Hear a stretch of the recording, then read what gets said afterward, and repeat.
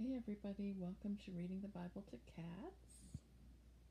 The kitties are snuggled together and it's really cute.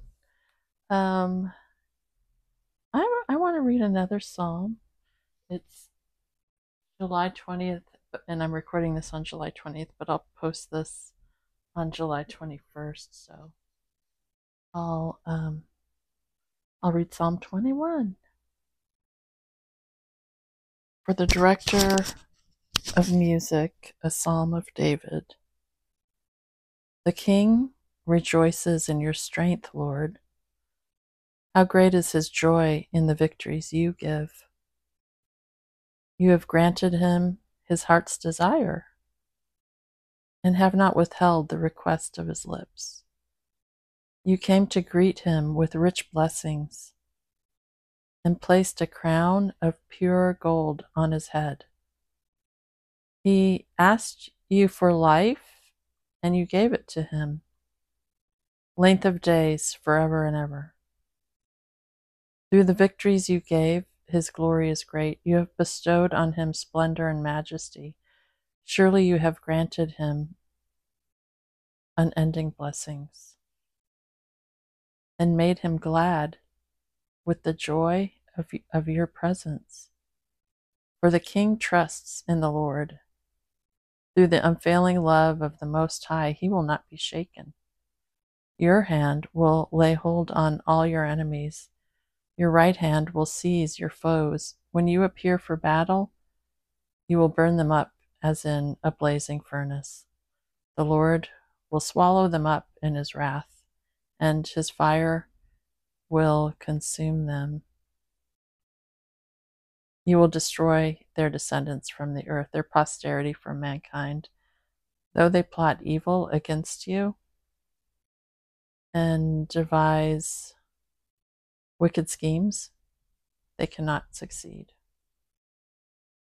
You will make them turn their backs when you aim at them with drawn bow be exalted in your strength, Lord. We will sing and praise your might. Everyone, that's Psalm 21. And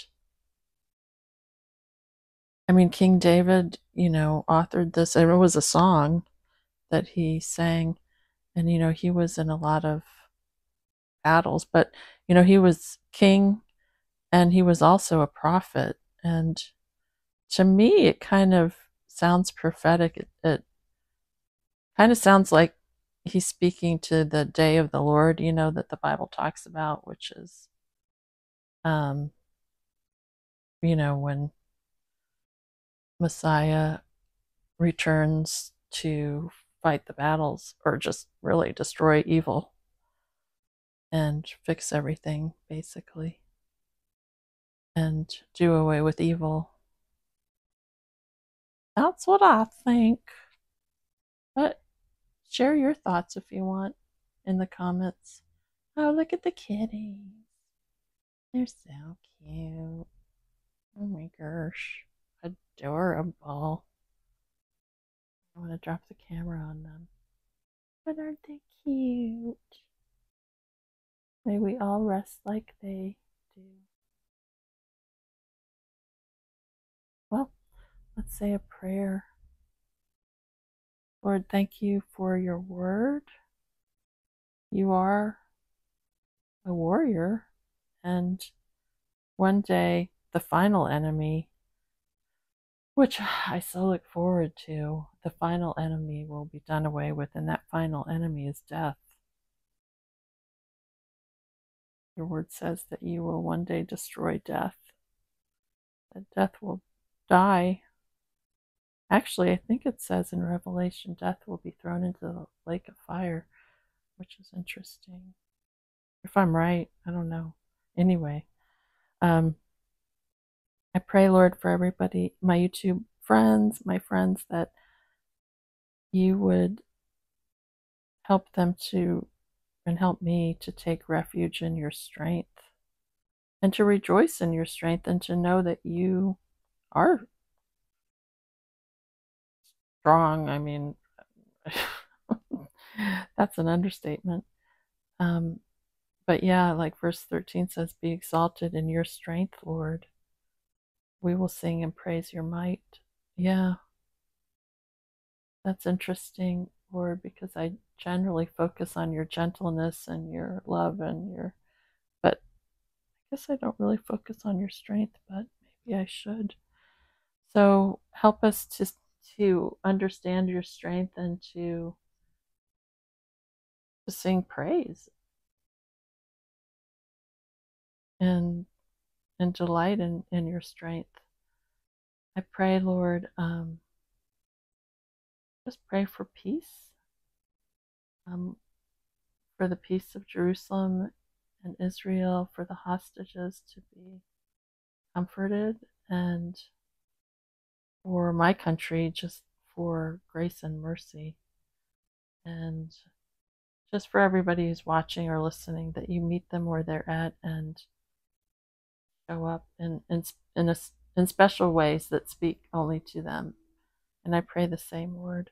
Pray all these things in Jesus' name. Amen. Look at the kitties everywhere.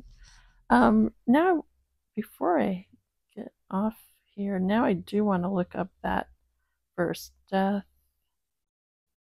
the final enemy. Let me just see if I can find the verse I'm talking or mentioned.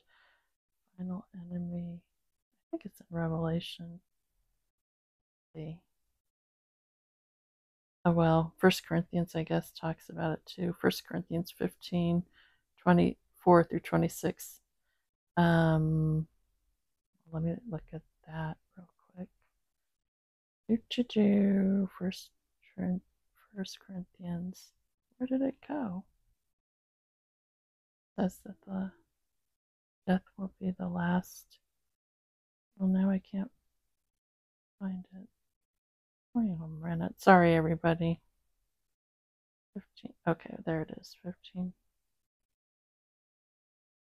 Oh, no, this one. Then, oh, 1 Corinthians 15, 24 through 26. Then comes the end when he delivers the kingdom to God the Father after destroying every rule and every authority and power, for he must reign until he has put all his enemies under, under his feet. The last enemy to be destroyed is death. Yeah, I was right. 1 Corinthians 15 24 through 26. I'm going to screenshot that. Save that one. And then um, I want to see the verse in Re Revelation 20.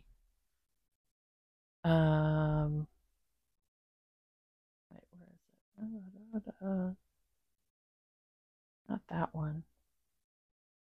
Um, hold on, I'm looking. Everyone, sorry. Know it's okay. Let me get out of this website and look. Where is it? I know it's in Revelation. Um,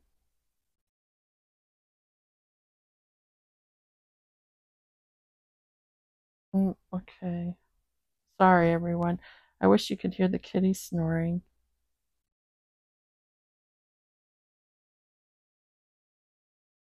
Um,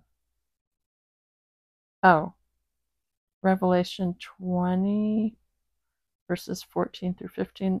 Then death and Hades were cast into the lake of fire. This is the second death. Hmm. Yeah, that's interesting to me that death itself and Hades, or I guess hell, well, well, death itself is cast into the lake of fire, which is so interesting, isn't it? It's like how how does that even look? I don't know. I don't know. It's interesting, but nonetheless, death will be done away with, and that is the final enemy. Okay, well, that's what I'm. That's what I. I'm going to screenshot that verse too. Okay, everybody. Well, I hope that you all have a good evening or day or morning. And um, yeah. Look at the kitties. They're too cute. I hate to turn the camera off. So cute. All right, everybody. Bye.